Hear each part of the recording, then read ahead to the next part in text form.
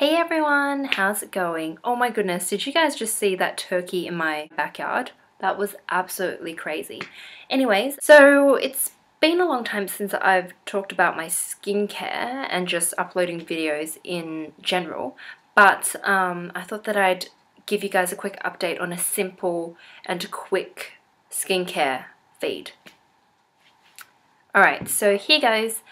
Um, firstly, I have been using the Antipodes range. I've been loving their masks and exfoliator. I've done a review on these on my blog, so if you guys want to check it out, feel free to do so. Um, I've been absolutely loving this. This to get rid of any dead skin cells to prep you for, you know, your creams or just before foundation. I've been using BB cream this past few months, so I haven't really had the need to put on foundation. This Aura Manuka Honey Mask has been absolutely amazing when my skin has been breaking out because I had been very, very stressed with work. So, um, last month I've been using this quite a bit. Um, it's a perfect mask which contains Manuka honey, which is an amazing ingredient, and it's been a key ingredient in half the skincare that I have um, down here, which I'll be talking about. So this is great to apply on your spots and blemishes and just a great mask overall. It's a two-in-one. Speaking of spots, this little Origins gem here, it's the Super Spot Remover. I've absolutely been loving this. It kind of heals your blemishes in a very natural way without drying it out.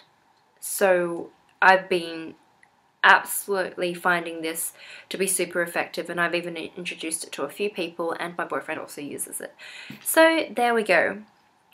Another thing that came to me as a surprise was this Antonia Burrell Forest Dew Skin Conditioner. So um, that I received when I was buying my Antipodes range and um, it was a free sample and these things are apparently usually really expensive because it is a rich and silky alcohol-free lotion that deeply hydrates, promoting quenched, healthy and glowing skin, enriched with Swiss alpine extracts, proven to balance sebum production and reduce large pores, while lavender flower water helps to calm and reduce redness. Skin is left smooth, soft, softened and radiant.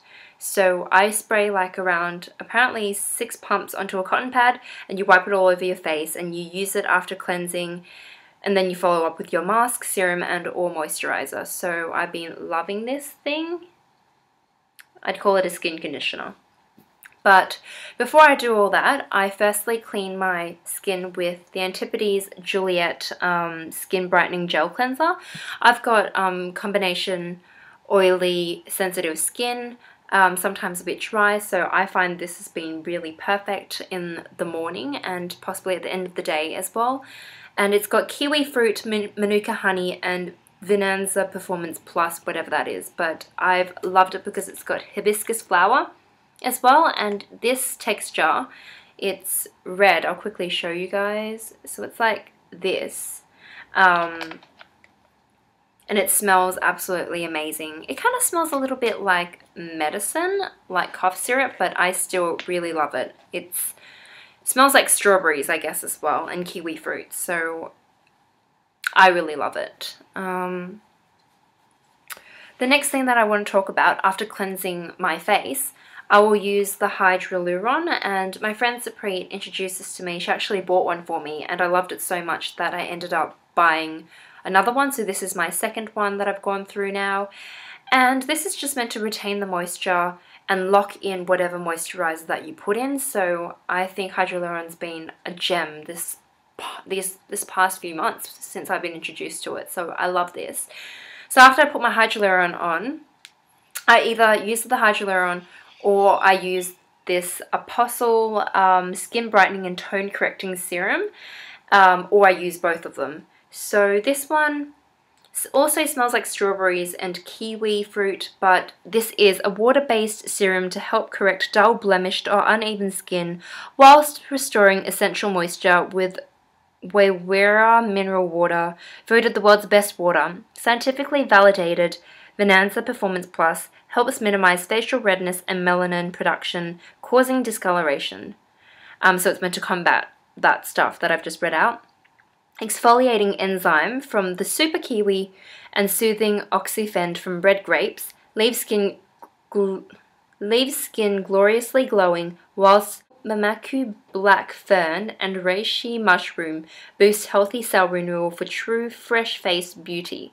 So, um, it's kind of like a, a little gel and um, it comes like this. And you can see that the colouring is quite similar to the Juliet cleanser that I've mentioned over here.